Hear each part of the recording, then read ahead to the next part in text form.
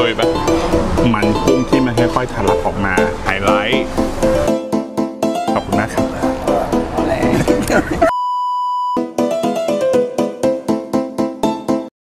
สวัสดีจ้ากัมจ้า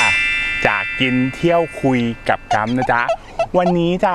กัมอยู่ที่ช เชิงเซาจะใช่แล้ววันนี้ ผมจะมาตามหาร้านอร่อยจากสามย่านครับร้านเนี้ยเขาบอกว่ามันจะเจ๋งมาก เพราะว่าร้านเนี้ยของใช้ส่วนใหญ่เป็นกุ้งแม่น้ำร้านเดิมเนี่ยอยู่ที่สามย่านใช่ฮะตอนนี้เขาย้ายกลับมาอยู่ที่บ้านมาอยู่ที่แปดริ้วฉะเชิงเซา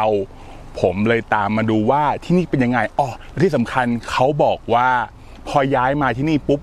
เมนูทุกๆอย่างที่เป็นกุ้งแม่น้ำถูกลงเพราะว่าที่เนี่ยเป็นแหล่งที่สามารถหากุ้งแม่น้ำได้ง่าย แต่เดี๋ยวก่อน แล้วพอย้ายมาอยู่ที่เนี่ยอยากรู้เลยว่ารสชาติและราคาเป็นยังไง เดี๋ยวเราไปดูข้างในดีกว่าไปะ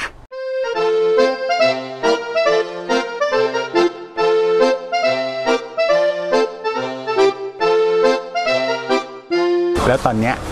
เราก็เข้ามาข้างในร้านแล้วฮะบอกเลยว่า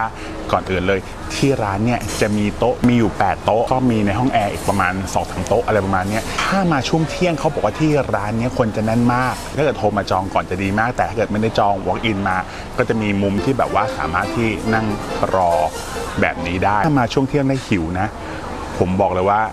ซื้อขนมมีขนมขายไม่งั้นเนี่ยเราอาจจะหิวได้ พอสั่งอาหารสั่งอาหารรอบเดียวอย่าเปลี่ยนโต๊ะไม่งั้นเนี่ย หารคุณจะช้ากว่าเดิมเพราะว่าเหมือนทีมแม่ครัวเขามีน้อย รอไม่ว่า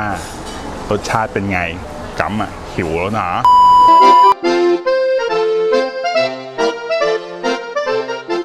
หลังจากที่เรารอมา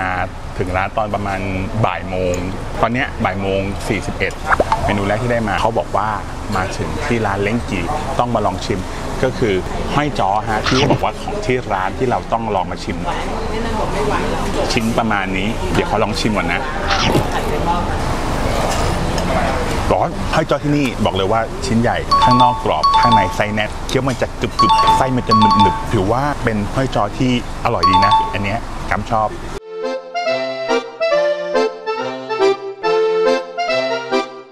แม่คืนอันเนี้ยเขาบอกว่าเป็นเมนูแนะนำชิ้นประมาณนี้ เดี๋ยวขอลองชิมก่อนร้อนโอ้ยมาแล้วขอบคุณครับ ไฮไลท์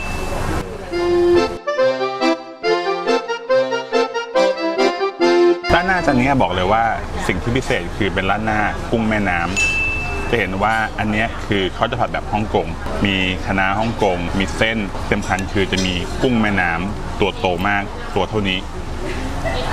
แล้ววิธีกินกุ้งแม่น้ำมันอย่างนี้นะแหวกตรงช่วงหัว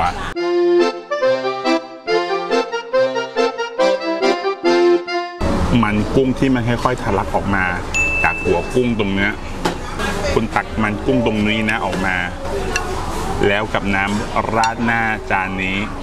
คำนี้กามขอลองชิมก่อน เจ็บแค้นคืนโกรธผมว่าที่ผมขับรถจากกรุงเทพอะเพื่อมากินร้านหน้าจานเนี้ย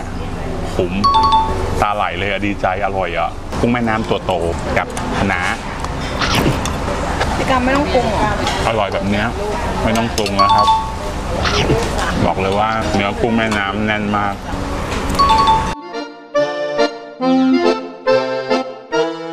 เคยปะ เมนูเนี้ยคือเมนูมีผักกระเฉดที่เขาบอกว่ามาที่ร้านนะต้องลองสั่งดูเส้นหมี่ผัดผักกระเฉดเดี๋ยวเราขอชิมเส้นหมี่ก่อน หวานนำมีรสชาติเผ็ดนิดนึงส่วนในส่วนของกุ้งคิดหน่อยว่ากุ้งสดไหมกุ้งสดมากเลยนะผักกระเฉดที่กินคู่กับหมี่เออเหมือนหิวเลยอะสงสัยจะหิวแฮะผักกระเฉดกรอบมาก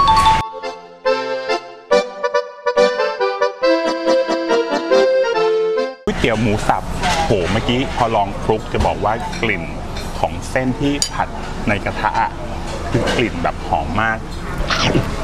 ซอสนี่บอกเลยว่ารสชาติหวานนำพอกินไปอะกลมกล่อมแต่ชอบกลิ่นนะกลิ่นแบบ อื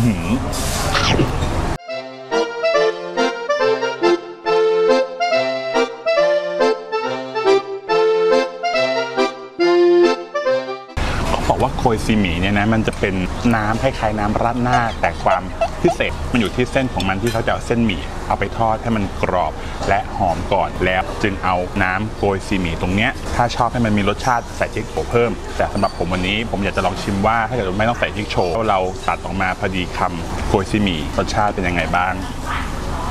หอมโกจิหมี่ที่นี่รสชาติออกหวานนำแล้วรสชาติกลมกล่อมทั้งหมด มันจะตามมาอีกทีหนึ่งอันเนี้ยโอเคนะโหอิ่มอิ่มแล้วอะอิ่มไหมอิ่มวันนี้ที่กินอะแม่ชอบอะไรบ้าง ไม่ชอบไอ้นี่มากกว่าผัดเส้นเนี่ยเส้นเนี่ยชอบก๋วยเตี๋ยวหมูสับเหรอแล้วอย่างอื่นชอบอะไรอีกไหมก็อย่างนั้นอย่างนั้นเนี่ยคราวหน้าถ้าเกิดว่ามาไหว้หลวงพ่อโสธรมาอีกไหมอ่าอ่าโอเค คืออยู่ต่อต่อกล้องไม่ได้นะอยู่นะกล้องนี่แบบดูแบบ แข็งๆอะอะไรก็ไม่รู้อะเมื่อกี้กินใหญ่เลยอะอะไรอะใช่พอแล้วใช่ได้แล้วมื้อนี้ทั้งหมด 896 บาท เรามาทานกันทั้งหมด 4 คน ถูกหรือแพงให้คุณเป็นคนตัดสินใจ และมื้อนี้ที่สำคัญเรามีเจ้ามือมาด้วย ขอบคุณมากครับ เป็นการมาทานข้าวที่มีสปอนเซอร์อย่างเป็นทางการนะครับผม ขอบคุณมากครับ ขอบคุณคุณแม่อรวรรณนะครับ ชอบมากเลยอะการที่มาทานข้าวแล้วมีสปอนเซอร์ เราจะมาบ่อยๆ นะครับผม ขอบพระคุณอีกครั้งครับผมเอาแ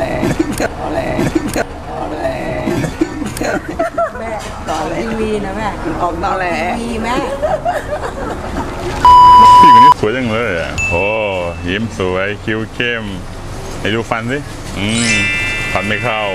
สำหรับร้านเล้งกี่นะครับ ใครชอบใจอะตามมาได้ผมจะปักหมุดไว้ให้ ผมบอกเลยว่าถ้าคุณมาจากวัดหลวงพ่อโสธรใช้เวลาประมาณ 14 นาที ผมก็ว่าไม่ไกลนะจากกรุงเทพขับรถมาก็แป๊บเดียว ถือซะว่ามาหาที่กินข้าวใหม่ ๆ ถ้าเกิดยังไงอะใครชอบใจผมฝากด้วยผมทำใน YouTube Facebook Twitter Instagram กินเที่ยวคุยกับกัมไว้เจอกันวอกหน้าบ๊ายบาย